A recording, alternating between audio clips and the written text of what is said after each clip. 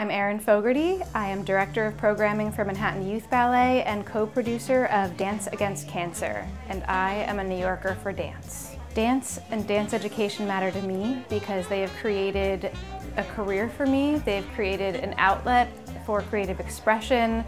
It has allowed me to help to raise necessary funds for the American Cancer Society and it has inspired me every single day seeing the children I teach find their passion in both the classroom and on the stage. I support dance by educating, by advocating, and producing charity work.